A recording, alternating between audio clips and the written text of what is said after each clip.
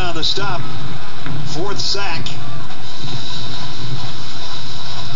And Dan Conroy, number four, standing right.